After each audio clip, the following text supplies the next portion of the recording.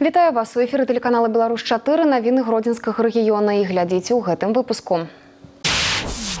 Моцныя снегапады і вецер, якія прынёс цыклон Ларс, працягваюць выпрабоўваць рэгіён. Стан здароўя медыкаў гродна прышчэпленых ад COVID-19 кантралююць спецыялісты. Знойдзены ордэн чырвонай зоркі перададзены родным чырвонаармейца ветэрана вялікай айчыннай вайны. І чарговай кропкай рэспубліканскага патрыятычнага праекта зімовы маршрут стала іўюшчына.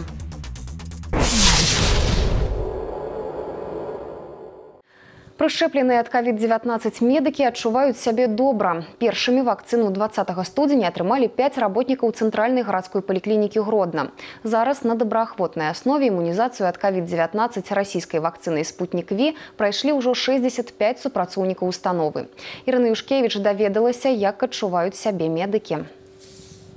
Восьмы дзень палёт нармальны з энтузіазмам сведчыць Олег перагарулька. Намеснік галоўнага ўрача падаў прыклад калегам і адным з першых у цэнтральнай паліклініцы прышчапіўся ад каранавіруса. У меня абсолютно не изменился после инъекции мой распорядок дня. Сделал зарядку утреннюю. Самочувствие мое никак не поменялось. Температура моя не, под, не изменялась. Никаких симптомов, э, которые описывают, что возможны э, быть там, например, горло побаливать или что-то еще, у меня абсолютно этого не было. Я уже седьмые, восьмые вот сутки уже пошли после первой прививки. И вторую прививку я планирую на 10 февраля. Першыя прышчэпкі ад каранавіруса медыкі гродзенска цэнтральнай гарадской паліклінікі зрабілі 20 студзеня. У агульнай колькасці тады вакцынировали 5 чалавек. Пасля ўвядзення першай дозы усім рэкамендавана назіраць за сваім самаадчуваннем. Нягледзячы на тое, што ўсе прышчэпленыя зараз на працоўным месцы і на здароўе не скардзяцца, урачы старанна сочаць за іх станам. Меня курирует моя врач-иммунолог, но к ней поводов обращаться не было.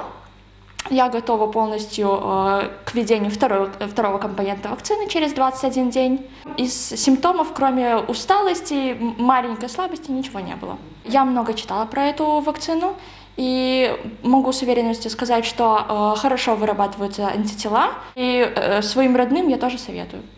Увогуле імунізацыя ад ковід праходзіць у два этапы. Спачатку добраахвотнікам увялі першы кампанент вакцыны, а праз 21 дзень зробяць прышчэпку другім. Кампаненты адрозніваюцца актыўнымі рэчывамі, якія ўваходзяць у іх склад. Гэта зроблена для ўзмацнення імуннай абароны арганізма. Як сведчаць медыкі, вакцына не ўтрымлівае самога каранавіруса, а значыць захварэць ім або заразіць іншых пасля прышчэпкі немагчыма. Чувствую я себя после вакцинации хорошо, никаких симптомов а, после а, прививки нет. Привиться я решила в связи с тем, что у меня дома детки маленькие, живу с родителями пожилыми. Я не хочу подвергать риску и опасности здоровья своих родителей и детей. Я по первичной специализации врач-анестезиолог-реаниматолог и вижу этих пациентов периодически в реанимации. вижу тяжелое состояние пациентов и считаю, что Э, если взять на чашу весов то состояние, которое люди переносят в реанимации, то вакцина – это самый лучший вариант защиты организма. Зараз першы этап вакцынацыі ад каранавіруса прайшлі ўжо 65 медработнікаў цэнтральнай гарадской паліклінікі. Сама ж установа стала прышчэпачным пунктам, дзе вакцынацыю праходзяць урачы і медсёстры з устаноў аховы здароўя за нёманскай часткі Гродна.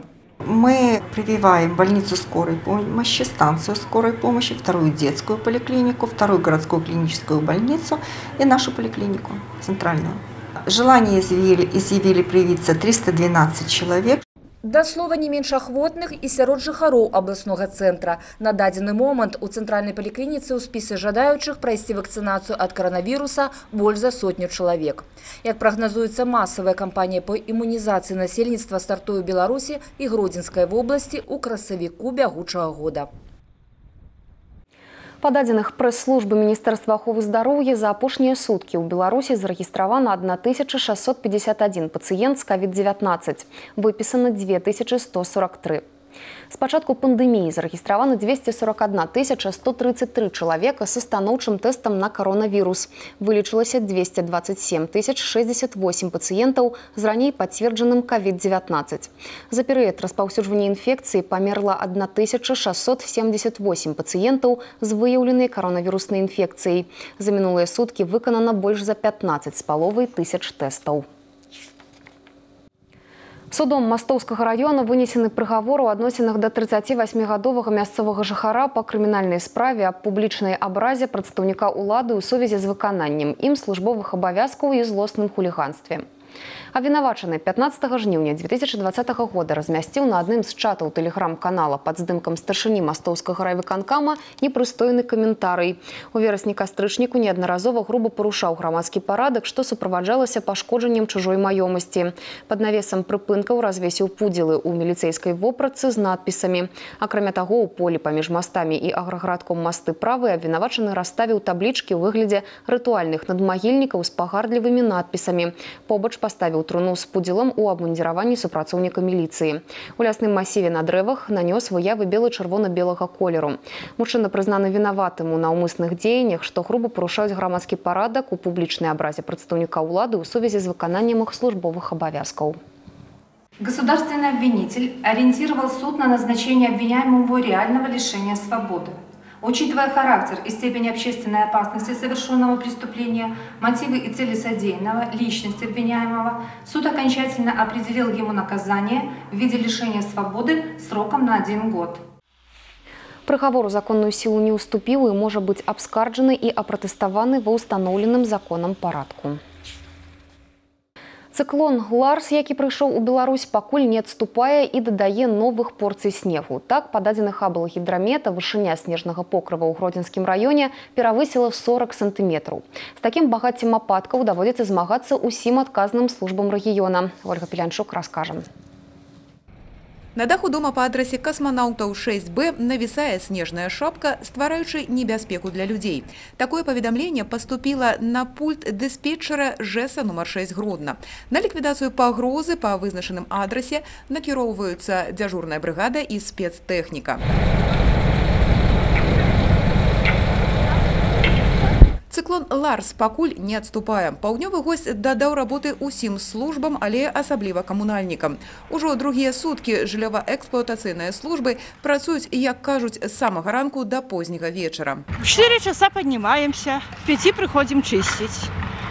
Теперь же погода, сами видите, какая. Ноль, один, снег тает, мокрый. Лопату это возьмешь, говорится, лопата 10 килограмм одна. Ну, очищаю так, ну, до часов полдесятого. В первую очередь, конечно, ступеньки очищаем, э, тротуарные дорожки. Нам в помощь э, специальная техника. Э, очищаем, посыпаем проезды, чтобы автомобилисты могли своевременно выехать, не опоздать на работу. Уборка паваленых дрэваў у дварах яшчэ адзін клопат жэсаўцаў. На ліквідацыі падобных завалаў спецыялісты працуюць самі і ў тандеме з іншымі службамі. На э, ветви деревьев также снеговая сильная нагрузка э, происходит. Э, есть случаи падения деревьев, но все производится экстренно в тот же день. Убираем, вывозим, сообщаем Зеленстрой, если это их территория. Они также выезжают, все убирают, все выполняем. Дарогі ў жылых мікрараёнах і прыватным сектары пад пільным вокам спецаўтагаспадаркі і дарожнікаў. А вось на падворак трактар не заедзе. Затое сюды з лапатамі ў руках дабярэцца моладзь. Рукі актывістаў БРСМ працы не баяцца. Гэта цяпер дакладна ведае Яўгенія Іосифаўна. Соцработник первое время мне помогала. Рада очень, молодцы ребята, вот пришли, помогли. Я буду теперь знать, то может и огород, когда придется скопать. Вызваліць ад снегу гаспадарку, ачысціць двор і сцежкі з такімі просьбамі на моладзевую гарачую лінію БРСМ звяртаюцца інваліды, ветэраны вайны, адзінокія сталыя людзі. Тут не адмаўляюць нікому. Інфармацыю, па якім адрасе патрэбна дапамога, паведамляюць і супрацоўнікі цэнтраў сацабслугоўвання. Заявок у нас достаточно много. Вчера мы посетили более 20 адресов. Сегодня на первую половину дня у нас уже есть около 10 заявок, но думаем, что к концу дня их будет еще больше. З невялікімі перапынкамі снег працягвае засыпаць рэгіён. Многія гродзенцы ў чаканні дапамогі ад службаў самі бяруцца за расчыстку снега. Мяркуючы па зводках сіноптыкаў, няўстойлівае надвор'е з парывістым ветрам і снегападамі у рэгіёне захаваецца да канца тыдня. А таму такі падыход, калі усе разам талакой спраўляецца з праявамі хоць і чаканай, але ўсё ж выпрабавальнай зімы, на бліжэйшы час застаецца актуальным. Моцныя снегапады, якія прадаўжаюцца другія суткі на Гродзеншчыне, стварылі сапраўдны транспартны калапс на дарогах абласнога цэнтра. Раніцай своечасова даехаць на працу, вучобу і па сваіх справах для многіх жыхароў горада аказалася немагчымым. Прычына гэтага аўтамабільныя пробкі на заснежаных вуліцах і збоі ў руху аўтобусаў, тралейбусаў і маршрутных таксі. Владзімир Лобан выслухаў меркаванне спецыялістаў. Для работникаў гродзенскага тралейбуснага ўправлення мінулыя дні калі не надзвычайныя, то асабліва напружаныя. Спецыялісты адзначаюць, у непагадзь вяртання машын у дэпо і падрыхтоўка да выезду на лінію займае больш часу. Ды на маршрутах узнікае нямала праблем. Кінутыя на дарогах легкавікі, якія складана аб'ехаць, буксаванне электратранспарту, часам абрыў правадоў. Погода в том числе вносит свои коррективы в, работу любого предприятия.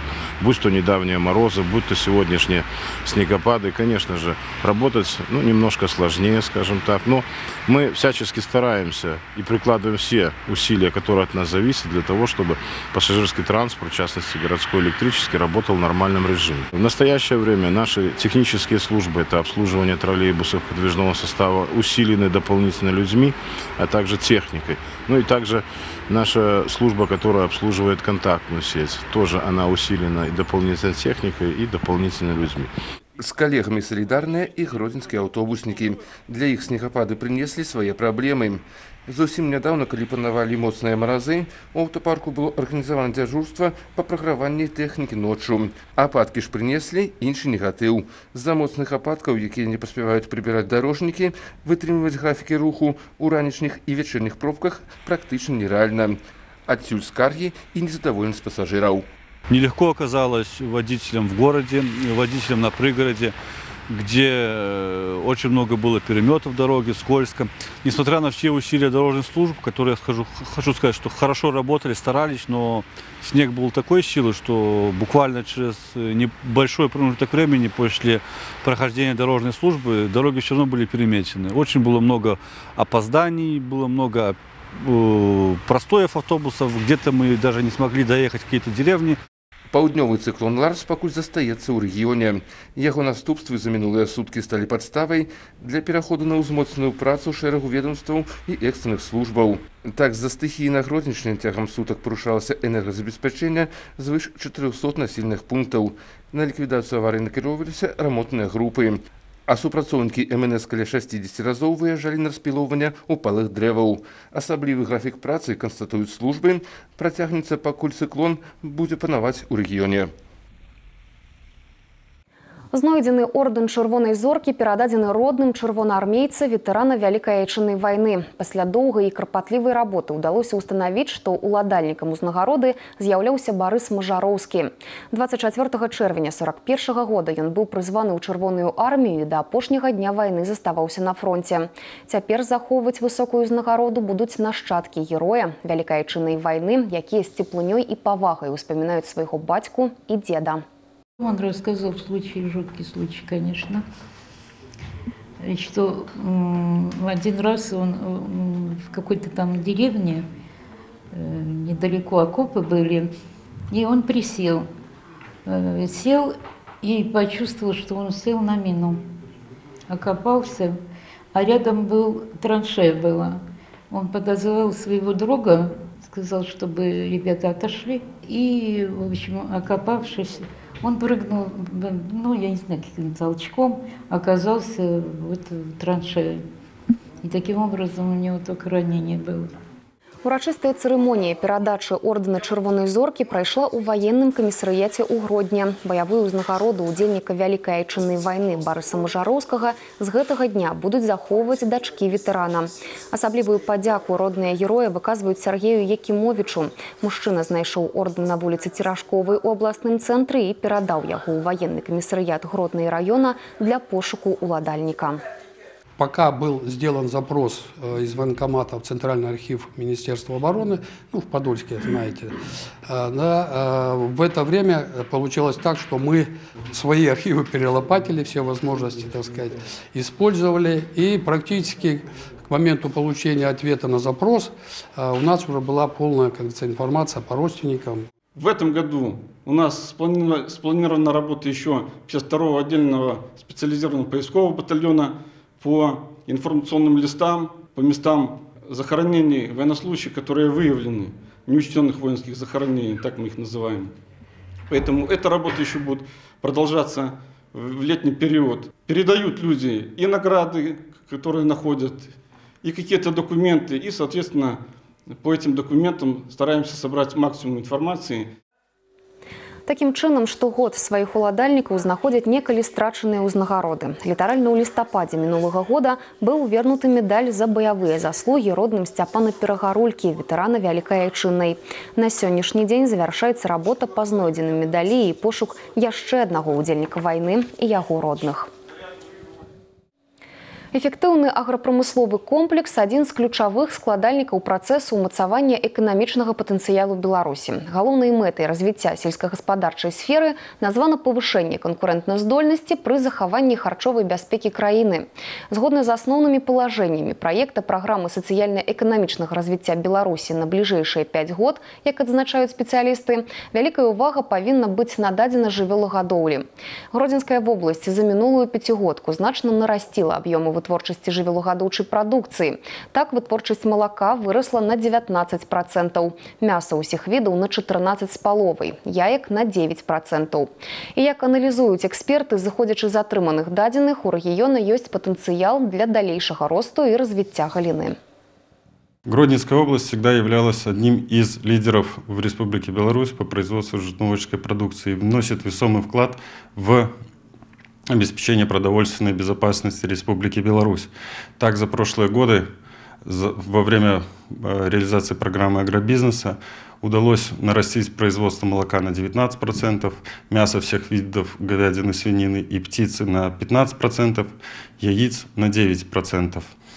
На, э, впервые в 2020 году удой на корову по области стоял более 6 тысяч килограмм. В будущей пятилетке ожидается не менее амбициозная задача увеличить продуктивность дойного стада до 7 тысяч. В 2020 году четыре сельхозорганизации Гронинской области добились значительных результатов в молочной продуктивности скота. Так, э, в СПК Светизянка 2003 Карелического района, Ханчицы Неман Свислочского района, СПК Свислоч и СПК имени Денщикова Гродненского района удой на корову за 2020 год составил более 10 тысяч килограмм молока на одну корову. Мы в полной мере наши перерабатывающие предприятия обеспечиваем сырьем для производства высококачественных продуктов питания. Э, но эти продукты питания идут не только на полки наших покупателей Гродничины, а также по всей Республике Беларусь. Более того, за 2020 год реализовано молочных продуктов на экспорт более чем на 370 миллионов долларов, мясных продуктов на 100 миллионов долларов. Все э, успехи животноводческой отрасли не могли бы быть реализованы без э, жесткой селекционно-племенной работы, проводимой в Гродненской области. Так, на сегодняшний день у нас в области 34 племенных организаций, в том числе 11 по молочному скотоводству, 4 по мясному скотоводству, 6 по свиноводству, 1 по овцеводству. С этих племенных предприятий мы также получаем экспортную выручку. Так, за последние два года реализовано на экспорт более 600 э, животных, молочных и мясных пород. Также 34 овцы и одна лошадь. В последние годы значительно селекционному э, прогрессу помогает э, лаборатория ДНК-технологий, открытая при нашем Гродненском аграрном университете. Что это нам дает? Это нам дает время, потому что на сегодняшний день мы можем исследовать животных на наличие заболеваний генетических, на э, определить гены продуктивности, гены многоплодия и другие э, полезные признаки, которые у животного могут проявляться. И не тратим средства, не тратим время для того, чтобы худшие животные у нас были в селекционном процессе. Так, например, на сегодняшний день в Гродненской области в племенных хозяйствах находится более 3800 голов э, быкородящих коров с продуктивностью по матерям более 10 тысяч. Из них более 2 тысяч, уже 11 тысяч. Это наш золотой фонд. Наш, это то, к чему мы должны стремиться. И, в принципе, мы этого добиваемся во многих хозяйствах. Так, СПК имени Зинчакова в этом году уже надоело более чем 11 тысяч на одну корову в целом по всему стаду. В 2020 году э, в Гродненской области создана крепкая кормовая база. Так, на одну условную голову крупного рогатого скота заготовлено более 30 кормовых единиц травянистых кормов. Также практически миллион засыпано зерна, э, зерна в наши фуражные склады, что нам позволит в этот непростой зимнестойловый период добиться тех результатов, которые мы ожидаем от 2021 года. Также сохранности кормов во многом способствует то, что мы последние пять лет активно строим сенажно-силосные траншеи. Так, за эти годы построено 500 штук на объем более 800 тысяч тонн. Рэспубліканскі патрыятычны працоўны праект зімовы маршрут прадаўжае сваю вандроўку па рэгіёне. Чарговай кропкай прыпынку студэнтаў гродзенскага аграрнага універсітэта стаў іўеўскі раён. Тут актывісты пабывалі ў суботніцкай сярэдняй школе, дзе адкрыты аграрны клас. Ездим мы по Гродненской области, по школам, где обучаются агроклассники, так как в составе нашего отряда исключительно студенты Гродненского государственного аграрного университета. У нас много целей, да, мы преследуем в рамках нашего маршрута. Основная – это патриотическое воспитание нашей молодежи, становление ее на, скажем, правильную гражданскую позицию, а также приведение в порядок памятников. Праграма сустрэчы падкрэсліваюць студэнты складзена з улікам інтарэсаў дзяцей рознага ўзросту. Так для першакласнікаў быў зладжаны чэмпіянат па зборы патрыятычных пазлаў. Двух-чатырох класнікаў чакаў майстар-клас па народна-прыкладной творчасці азбука беларускага арнаменту. У яго рамках школьнікі вучыліся рабіць лялькі-абярэгі і гальштукі матылькі сваімі рукамі. Дзяцей з пятых-шостых класаў запрасілі да заняткаў па культуры здаровага ладу жыцця. Вучням старэйшых класаў аказаліся карыснымі праграме прафарыентацыйныя мерапрыемствы, а таксама інтэлектуальная гульня пазнай Беларусь. Акрамя таго, байцы атрада азімы расказалі школьнікам пра студэнцкія будні і перавагах выбару прафесіі аграрыяў. Я работаю с детками начальных классов. Мы с ними э, раскрашиваем раскраски, всякие памятники, рассказываем им о них. Также мы делаем э, куколки с ними. Э, ну, народные цвета Беларуси. Вот. Ну, я считаю, что как бы детки еще с детства нам нужно рассказывать им, ну, давать им патриотическое воспитание. Вот. Деткам очень нравится, особенно делать куколки. Есть свои э, поблажки при поступлении к нам в университет, свои плюсы. Э, мы рассказываем о том, как мы можем с ними работать. Э, сейчас у нас в университете проходят э, видеоуроки, лекции, экскурсия по нашим корпусам мы рассказываем, как ребята могут, в принципе, вот это все посмотреть и узнать про наш университет. Рэспубліканскі праект зімовы маршрут прадаўжаецца. Атрад азімы быў сфарміраваны на базе гродзенскага аграрнага універсітэта. У цэнтр сваёй увагі студэнты ўзялі профільныя агракласы смаргонскага, іўеўскага, лідскага і шчучынскага раёнаў. Нагадаем, што стартавай кропкай праекта стаў гродна, затым атрадаўцы пабывалі ў смаргоне, цяпер у іўі, наперадзе ліда і шчучын. За тыдзень байцы атрада пераадолююць каля 600 кіламетраў. І на гэтым наш выпуск завершаны я развітваюся да сустрэчы ў эфіры.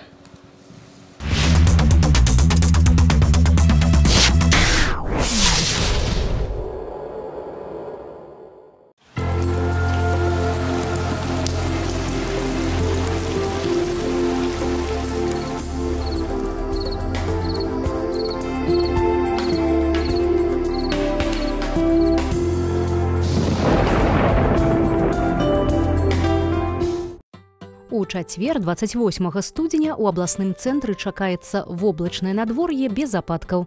Раніцай слупок тэрмометра пакажа каля 4 градусаў марозу, днём да мінус двух, а вечарам да мінус 5 градусаў. Вецер паўднёва-заходні 2-4 метры за секунду. Атмасферны ціск 744 міліметра ртутнага слупка. Вільготнасць паветра каля 90 процентаў.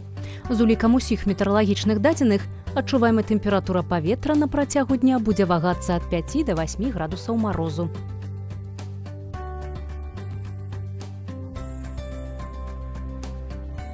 У раённых цэнтрах 28 студзеня надвор'е будзе наступным.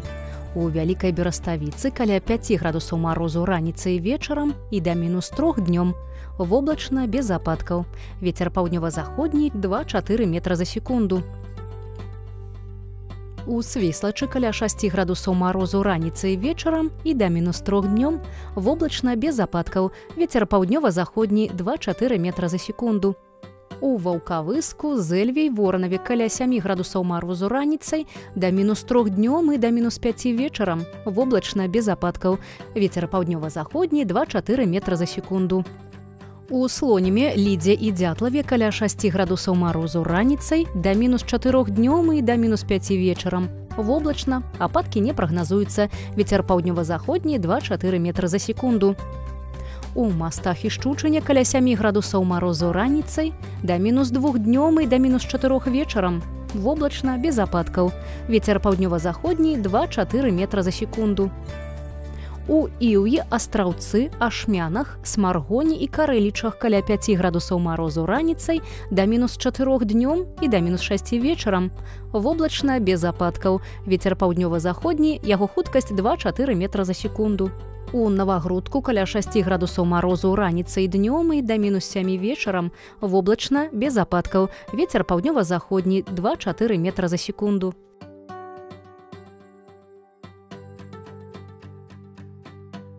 Згодна з гісторыяй метаназіранняў, мінімальная тэмпература паветра, якая была зафіксавана ў грудні 28 студзеня 22 градусы марозу, здарылася гэта ў 1947 годзе. Максімальная тэмпература паветра, зазначаная 28 студзеня ў грудні 9,1 градусаў цяпла. Рэкорд належыць 1983 году. У раённых цэнтрах найхаладней 28 студзеня было ў ашмянах у 2010 годзе. Слупок тэрмометра апусціўся тады да 22,2 градусаў марозу. Найцяплей у гэты дзень было ў ваўкавыску ў 1983 годзе. Было зафіксавана 9,2 градусаў цяпла.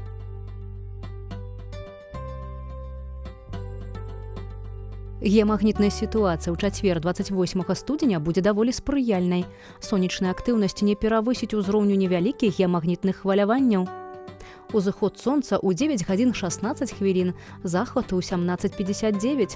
Светлавы дзень у параўнанні з серадой павялічыцца на 4 хвіліны і складзе 8 гадзін 43 хвіліны.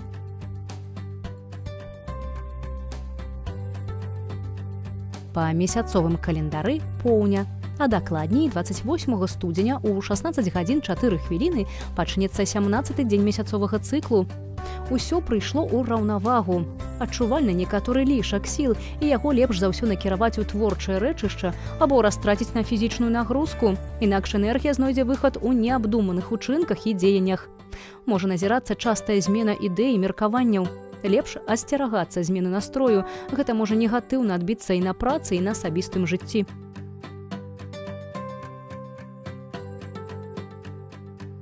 У чацвер 28 студзеня па народным календары павел. У народзе казалі павел дня прыбавіў, прыкмячаючы, што дзень стаў даўжэйшы. На Паўла таксама назіралі за надвор'ем, каб прадказаць, якім будзе лета.